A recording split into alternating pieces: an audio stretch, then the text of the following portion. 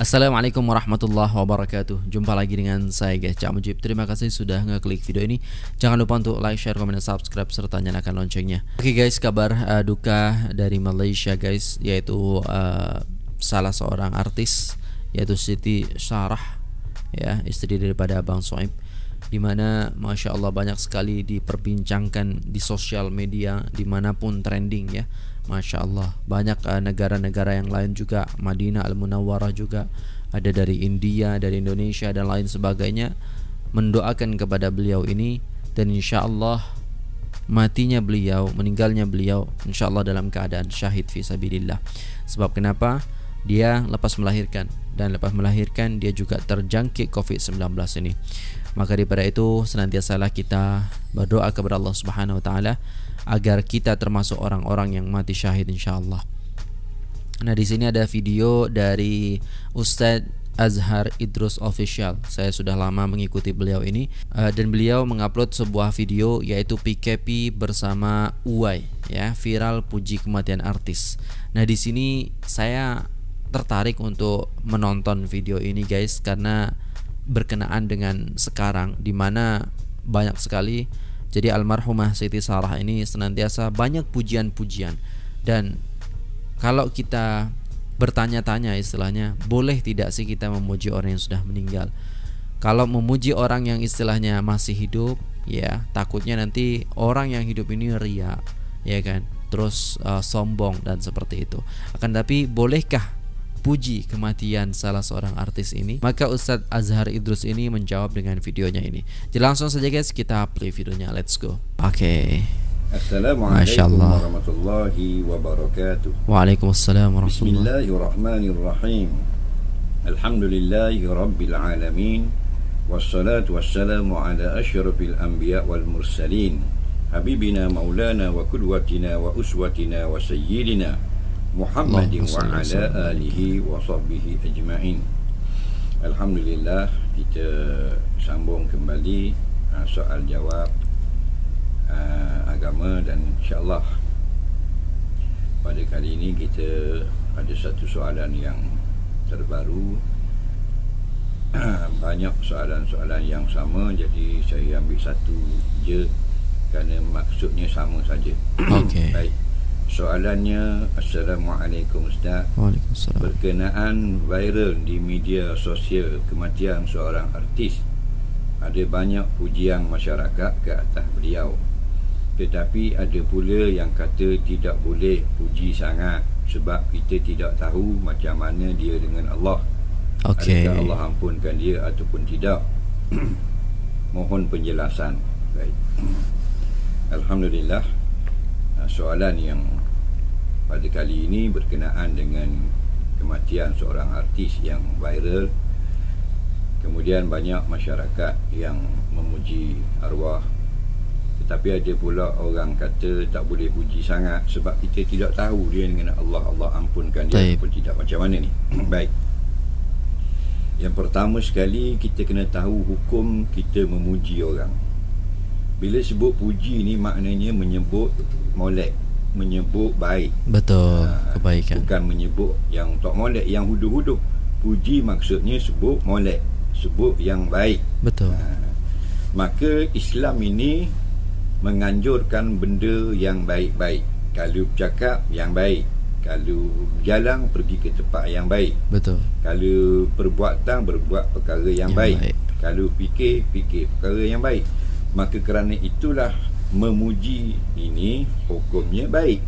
Ha, hukumnya digalakkan oleh syarak kita memuji.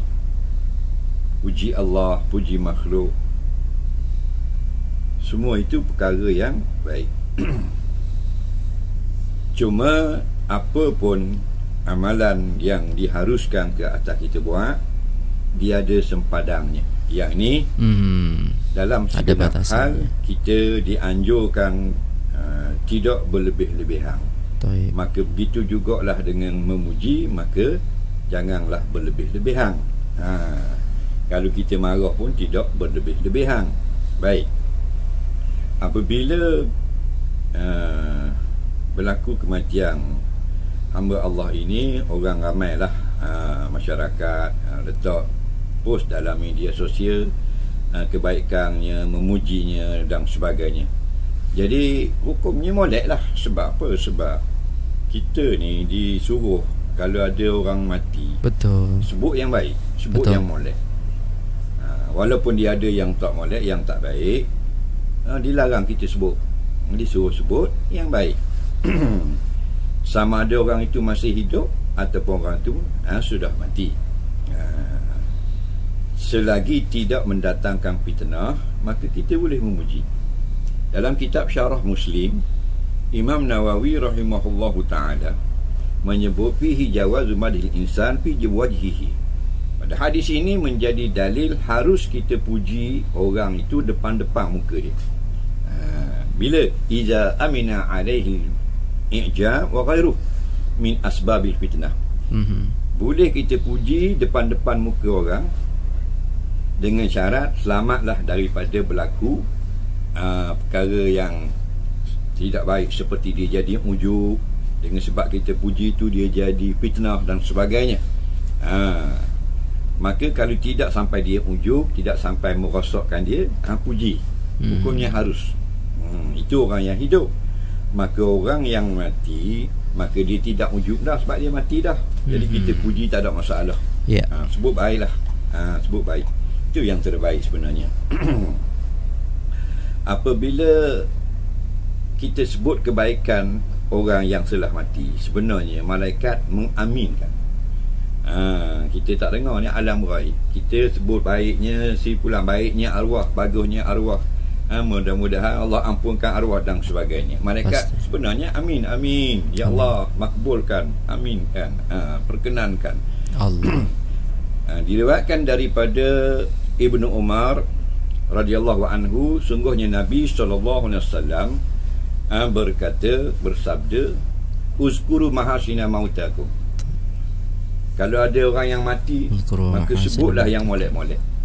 Maksudnya pujilah dia. Tak salah sebut yang molek.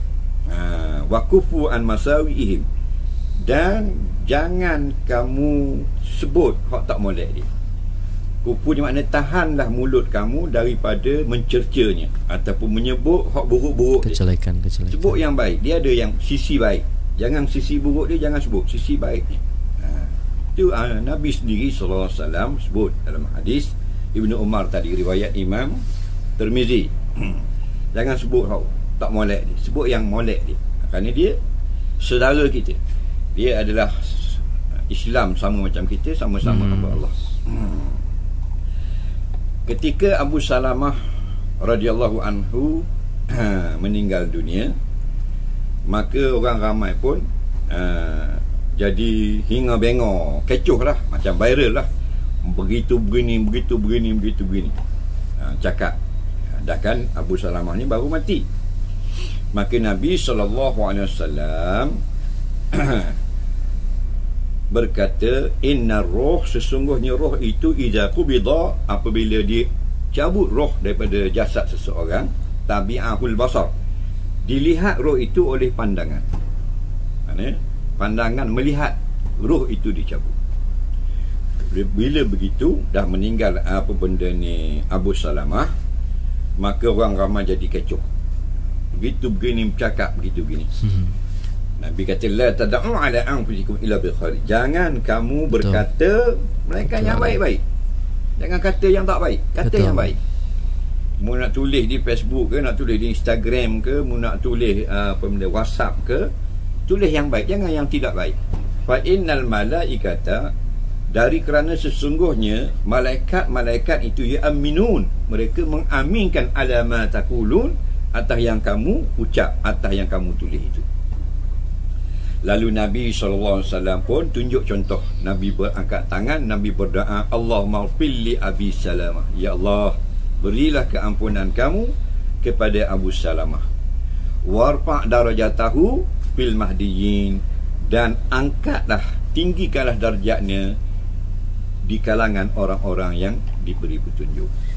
Ha, jadi ingatlah uh, kita sebab tahu macam mana keadaan kita nanti.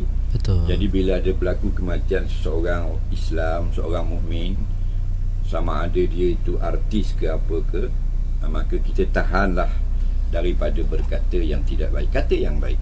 Betul.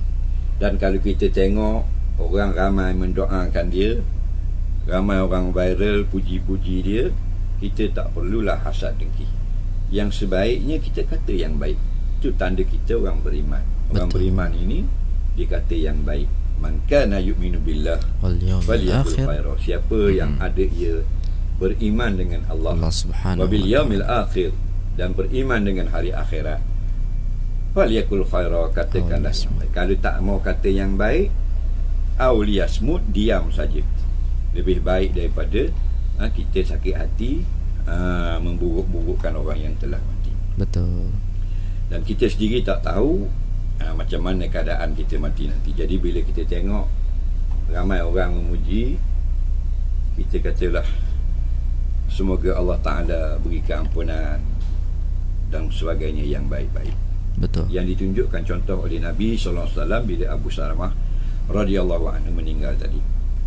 Dan kita berdoa jugalah sebaiknya supaya kita juga bila mati nanti orang ramai sebut kebaikan kita. Jadi tak perlulah kita sebut buruk orang yang telah mati ataupun bila kita tengok ramai orang sebut yang mati ni dengan kebaikan kita rasa sakit hati tak perlu. Bahkan yang baiknya yang betulnya kita tengok ramai orang sebut kebaikan dia kita pun berdoa juga mudah-mudahan kita pun nanti bila mati orang sebut baik-baik juga. Amin. Mudah-mudahan terjawab ha, dengan jawapan yang ringkas daripada saya tadi. Uh, wallahu alam.